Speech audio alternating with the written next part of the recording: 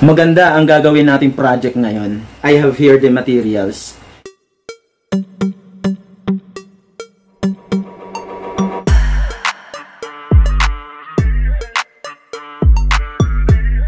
Pero instead na glass, ang gagamitin natin itong mga cellophanes na ito.